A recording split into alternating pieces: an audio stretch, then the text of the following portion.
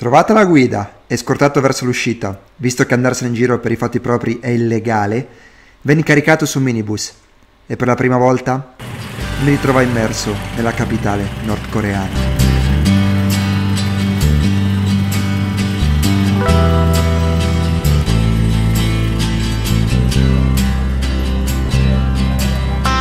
Pyongyang si presentava ai miei occhi come una città poco trafficata ed estremamente pulita, dove sotto molti aspetti il tempo sembrava essersi fermato a 30-40 anni fa.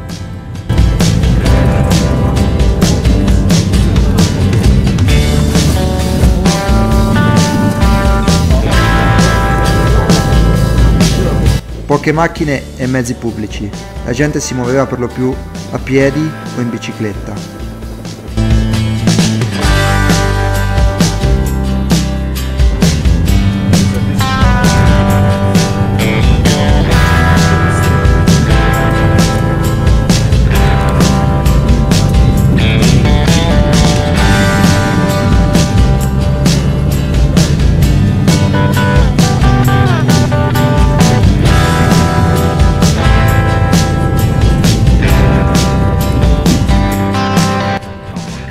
Pochi automobilisti non sembravano fregarsene molto dei pedoni che attraversavano la strada.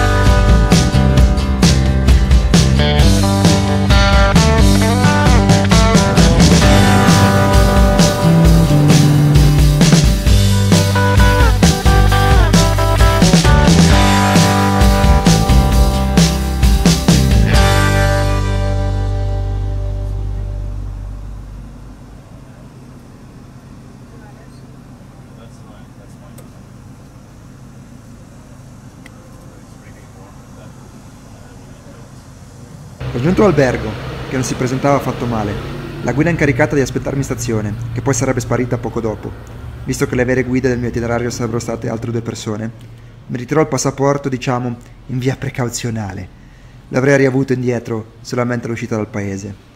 Mi diede poi una spiegazione delle regole da seguire in Corea del Nord, regole che naturalmente già sapevo, però feci finta di non sapere, raccomandandosi di non provare mai a lasciare l'albergo, senza l'accompagnamento delle guide, motivando questa affermazione col fatto che noi stranieri, se lasciati soli, potremo andare incontro o vedere cose che ci rimarrebbero difficili da comprendere. Non so bene a che cosa si riferisse. Mentre aspettavo il resto del mio gruppo, che avrebbe raggiunto Pyongyang in aereo poche ore dopo di me, notai che l'albergo era vuoto.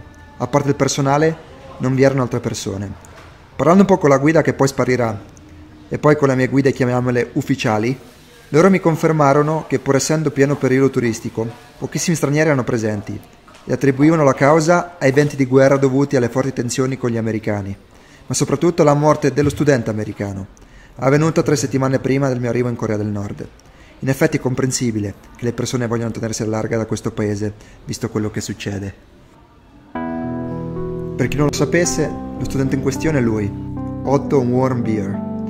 Esattamente come me, Otto aveva deciso di partecipare ad un viaggio organizzato in Corea del Nord, tra la fine del 2015 e inizio del 2016.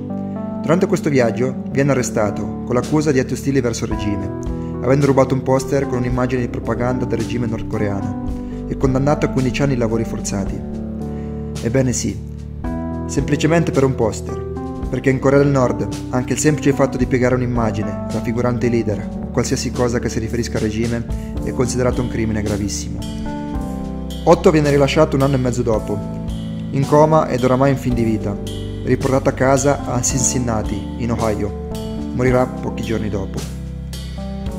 I nordcoreani con cui ho parlato si dissero molto dispiaciuti della morte del ragazzo, ma che allo stesso tempo se l'era andata a cercare. Io avrei tanto voluto dirgli, ma si può sapere che cazzo gli è successo mentre era in carcere? Che cosa gli avete fatto? Perché è finito in coma? Visto che nessuna vera spiegazione alla sua morte è ancora stata data. Ma visto il contesto in cui mi trovavo, e temendo un po' di fare la sua stessa fine, preferito annuire alle loro affermazioni e rimanere in silenzio. Era oramai ora di andare a letto e recuperare le energie dopo un lungo viaggio in treno.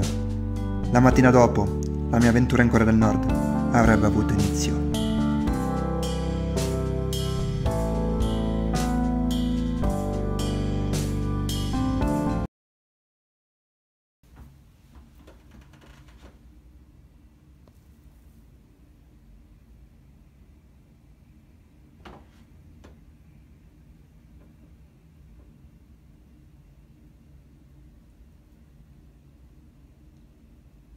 Il mattino dopo, fatta la conoscenza del resto dei compagni del mio gruppo, il nostro primo giorno in terra nordcoreana può avere inizio. Scortati dalle sempre presenti guide, mettiamo piede fuori dall'albergo.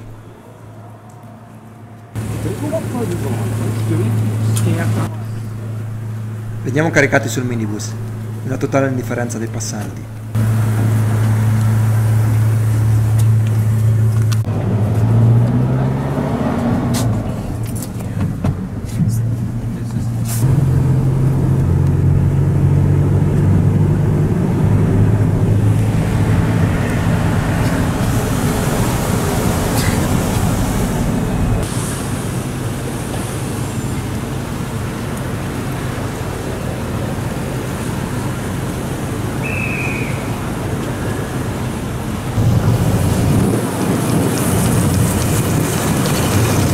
A poco ci lasciamo la città alle nostre spalle, alla volta della campagna nordcoreana.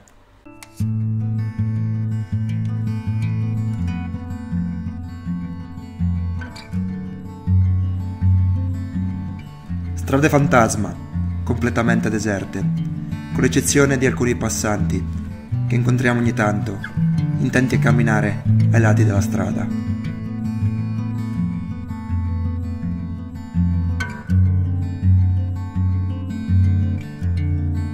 Differenza di Pyongyang, il manto stradale al di fuori della città è davvero in pessime condizioni. Le buche sono quasi onnipresenti. Ecco com'era stare seduti nel minibus.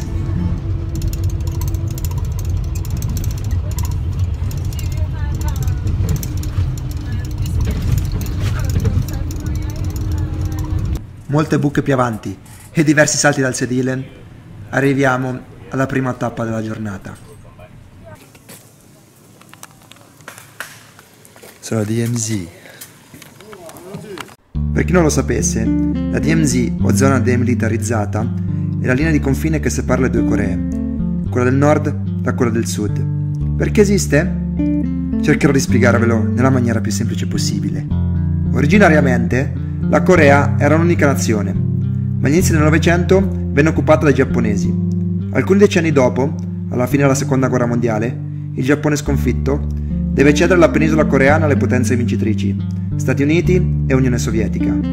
Così, esattamente come era successo con la Germania, americani e russi si spartiscono la Corea. I primi si prendono la parte sud e i secondi la parte nord della penisola, stabilendo la linea di confine all'altezza del 38 parallelo. Succede poi che, pochi anni dopo, nel 1950, Kim Il-sung, che era capo della Corea del Nord da due anni, supportato da Cina e Unione Sovietica, decide di invadere il sud filoamericano, con l'intento di riunificare la Corea. In un primo momento, Kim e compagni sembrano avere la meglio, conquistando quasi tutto il sud. Ho detto quasi, perché negli aiuto dei sudcoreani arrivano gli americani, che riescono a spingere verso nord le truppe avversarie. Succede poi il contrario. Sudcoreani e americani provano a lanciare un'offensiva, con l'intento di conquistare il nord, ma vengono respinti a loro volta, dai coreani del nord appoggiati dalla massiccia presenza delle truppe cinesi di Mao. E fu così che dal 1950 al 1953 ebbe luogo la guerra di Corea, che si risolse in un nulla di fatto. Nessuno era riuscito ad ottenere quello che voleva. Con un numero impressionante di morti, un paese spaccato in due, diviso da una linea di confine, conosciuta oggi come DMZ. Mamma mia che fatica, però ce l'ho fatta. C'è però una piccola curiosità in tutto questo. Alla fine della guerra, tra le due Coree, venne firmato l'armistizio, ma non la pace, quindi tecnicamente ancora oggi le due Coree sono in guerra. Ed è per questo che la DMZ, al contrario di quello che suggerisce il suo nome, è uno dei posti con la più alta presenza militare al mondo. Da entrambi i lati, migliaia di soldati sono pronti a farsi la guerra in ogni momento.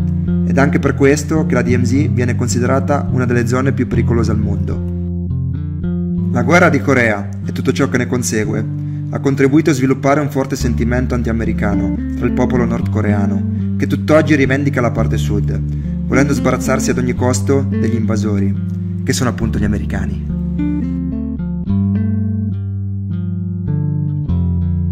Daniele, Eccomi com- qua. com'è stato il viaggio? Eh, un po' bumpy. C'era un po' di buche, dai. eh, qualche buchettina, sì. You see, the soldiers are yeah, that. So, yeah, tell Uomo più telecamera uguale non ci piace molto. Mi viene impedito di filmare. Ah, ok, not not the size. ok. Just, ok, sorry. Then I stop. Inizia il nostro tour della DMZ, con passaggio obbligatorio per il negozio di souvenir. Questa cosa sarà molto ricorrente durante i vari spostamenti. Ogni volta che inizieremo o finiremo una visita guidata, le nostre guide ci porteranno nella zona souvenir e faranno un leggero pressing su di noi per spingerci a comprare qualcosa.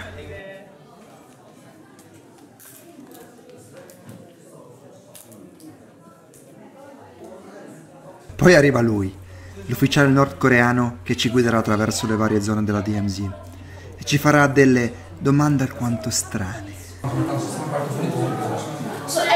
Di nuovo, la videocamera non è gradita. Il nostro amico soldato ci chiese cosa pensavamo delle sanzioni imposte dall'America al loro paese e se l'occupazione della Corea del Sud da parte degli americani fosse per noi una cosa giusta. Beh, le risposte più ovvie sarebbero state: Guarda che gli americani vi sanzionano per le continue minacce nucleari. La Corea del Sud, in realtà, non è occupata dagli americani. Ma in gioco c'è la nostra incolumità. Quindi, uno di noi semplicemente rispose che alcuni paesi non dovrebbero mischiarsi negli affari di altri paesi. Risposta semplice, che però accontentò il soldato. Ci portano poi di fronte a questo monumento, raffigurante l'ultima firma lasciata da Kim Il-sung, la data in cui la firma è stata fatta, poche ore prima della sua morte. Qualcuno prova a svignarsela, ma viene subito richiamato. E dopo tanto tempo, finalmente potevo vederla con i miei occhi. La linea di confine o di demarcazione. Composta da dei semplici pezzi di cemento. Tutto quello che vedete dall'altra parte del cemento è la Corea del Sud. Where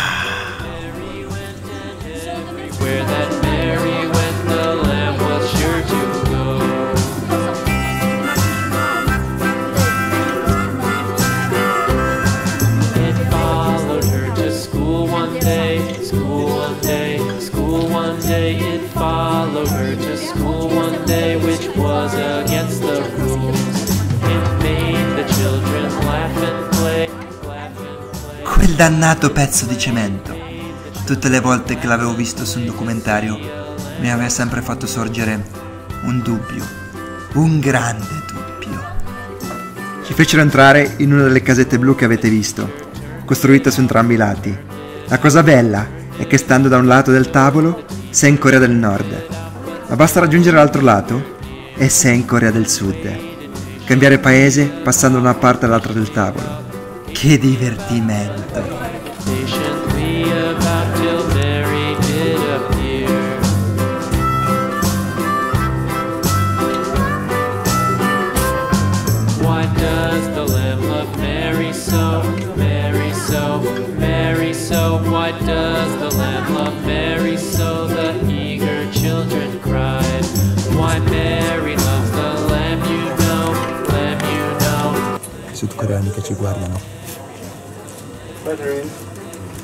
Terminata la nostra visita alla DMZ, ci rimettiamo in viaggio.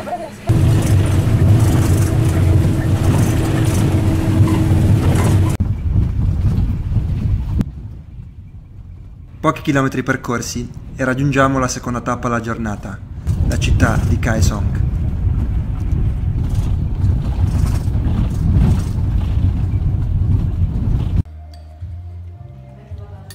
Pausa pranzo e veniamo portati in un ristorante completamente vuoto.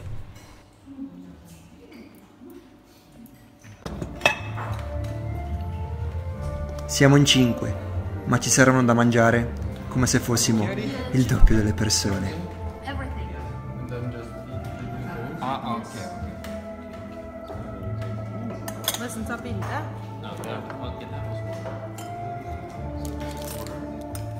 Una bella musichetta di propaganda in sottofondo accompagna il mio grande pasto.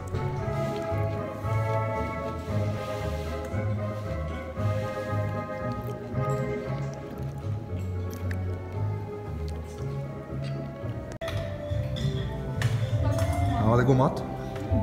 Er det god mat? Det er mat. Ja, god. Kjempebra, Egrid. Helge? Ja, det er god mat. Veldig god mat. Daniele? Che dici? Tutto buono? Sì? Sì, sì, sì, decisamente.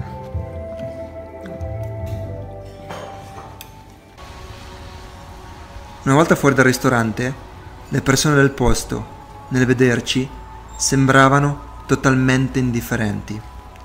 Quasi impaurite, oserei dire.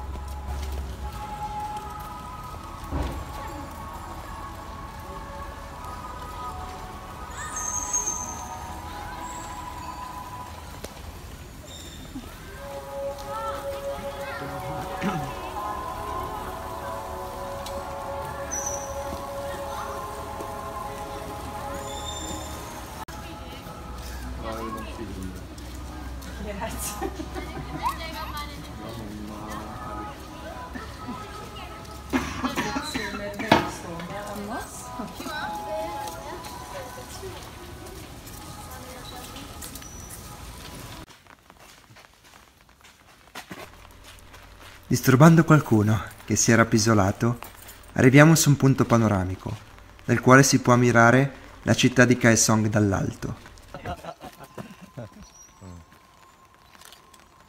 It's very beautiful. Yeah.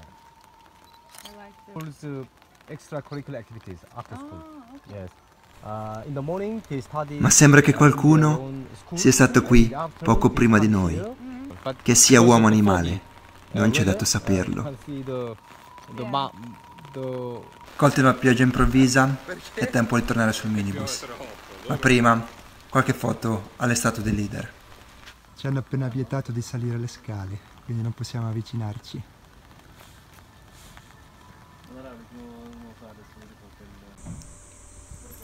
Sulla strada del ritorno, verso Pyongyang, ci fermiamo per fare visita ad un tempio buddista. Ufficialmente il governo nordcoreano riconosce la libertà di culto, anche se varie organizzazioni umanitarie hanno segnalato più volte violazioni dei diritti umani nei confronti di coloro che hanno provato ad esprimere il proprio credo religioso, essendo sostanzialmente leader l'unica forma divina venerabile. Le guide ci avevano detto che in questo tempio vivevano diversi monaci, ma a me era apparso completamente disabitato. E al posto di un monaco, l'unica persona presente era questo tipo qui, che ci ha illuminato con alcune nozioni riguardanti la storia del tempio.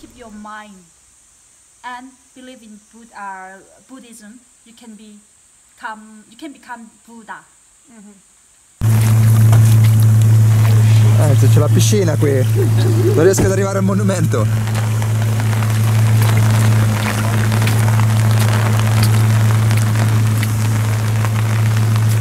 Oramai prossimi, al ritorno in città, facciamo una brevissima sosta per fotografare l'arco della riunificazione, che simboleggia appunto la riunificazione delle due Coree.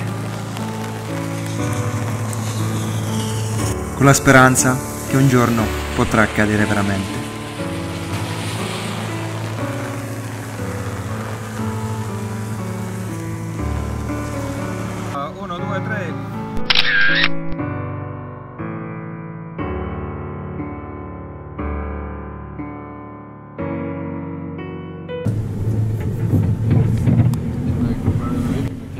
Tornate a Pyongyang, allagata.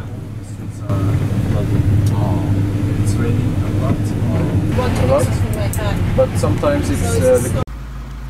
Prima di cena, un po' di attività fisica. si va a giocare a bowling. E anche questa volta il posto è completamente deserto. Siamo gli unici presenti.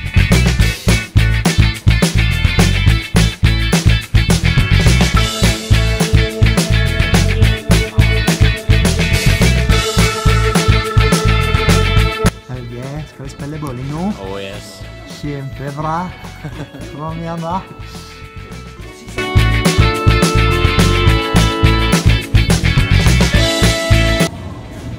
Mi ero dato le scarpe rosa. Che bello.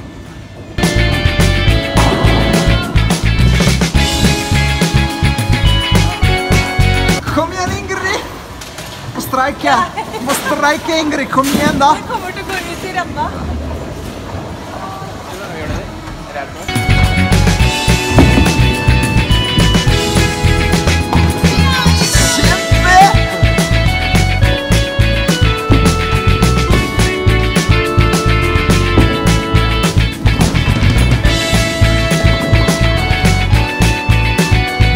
Guarda, qui Danielino. Avresti mai detto di giocare a bowling in Corea del Nord? Assolutamente no. Eh, Beh, beh, non lo stiamo facendo. Stiamo giocando a bowling in Corea del Nord. Questa è una palla da bowling se non ci credete. e pesa una tonnellata. Eccolo pronto. Massima concentrazione. Il risultato è eloquente. Allora un commento a caldo su Lo so, lo so, faccio cagare a bowling. E dopo il bowling, barbecue coreano. It's dinner time.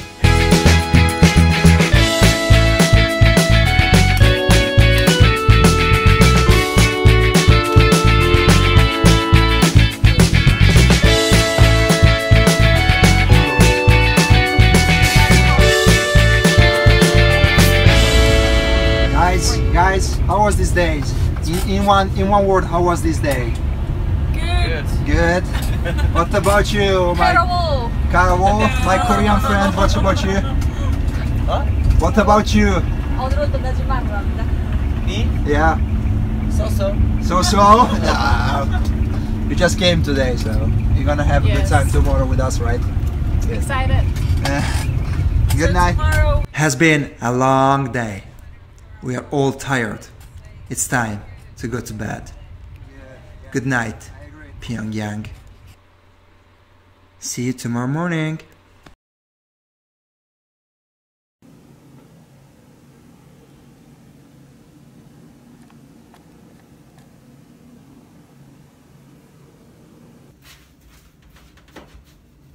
Ma perché la mattina, appena sveglio, mi prude la testa? Nuovo giorno, nuova destinazione. Lasciamo ancora una volta Pyongyang.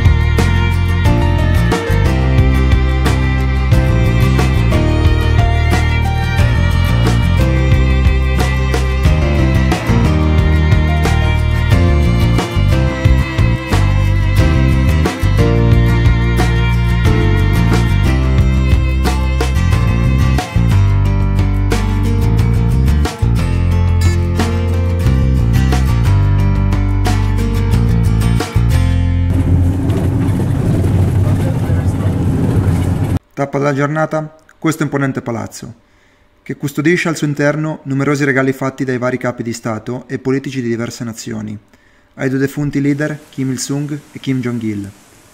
Non mi è stato concesso filmare l'interno. La guida del palazzo, questa signora qui, mi aveva preso un po' di antipatia, perché secondo lei non sembrava molto interessato a ciò che c'era dentro. Forte sostenitrice dell'ideologia Giuce, mi disse di tenere bene a mente che questa idea si sta diffondendo e si diffonderà in tutto il mondo.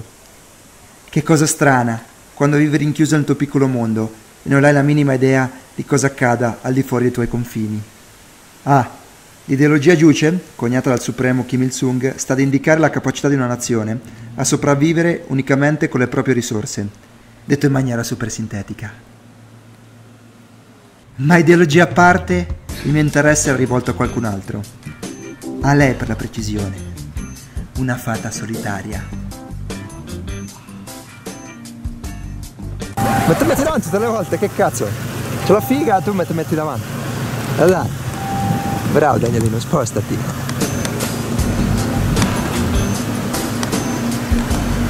E fammi un sorriso, un bel sorriso coreano, fammelo. Fammelo. Niente, non mi cagava proprio.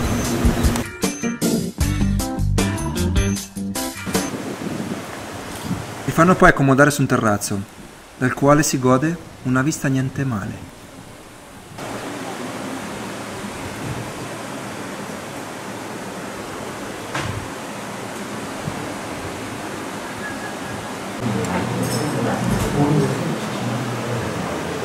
Ora? Ascolta, Che cosa sarebbe quello? te lo ginseng. Siamo sicuri? Pare. Non stai barando? Faccio un primo piano, vediamo. Vai. Ok, parebbe di sì.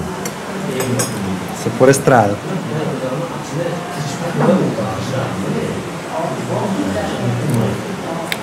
Com'è?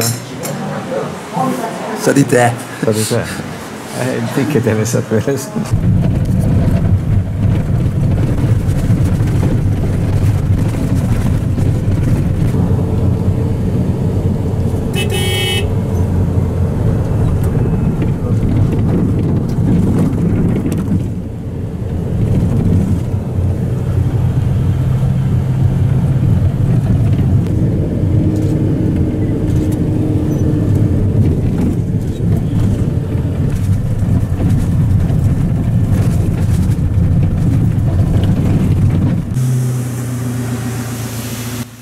Dopo la sosta per il pranzo, a pancia piena, siamo tutti pronti per una bella arrampicata.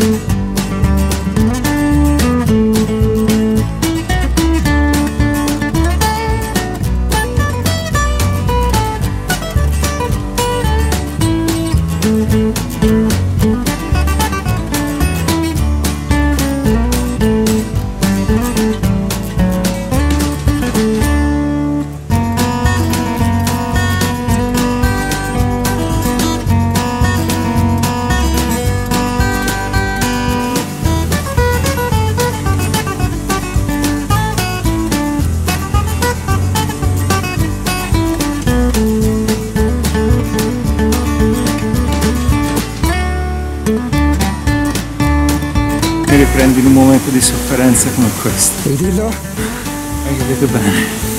Infamone. Guarda che paesaggio Danielino.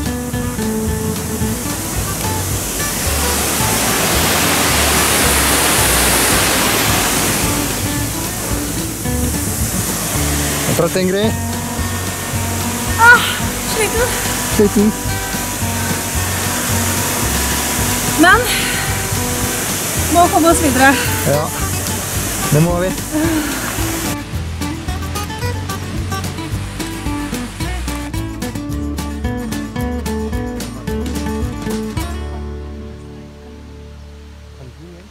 Are you filming now? No. No. Don't film. Nå har du i hvert fall en del å ta av. Great. Oh, how do I get down from here? That's always the issue. It's almost attempting to without a helmet. And without a lot of other stuff. Sitting down and up, so Yeah, I think it's That's okay. Okay, okay. Yeah. oh, very flexible. oh, compared to your weight. It compensates for lack of. Uh... Yeah, three hours of walk. Well, it's up there. Okay, then I'm going down. Fucking go.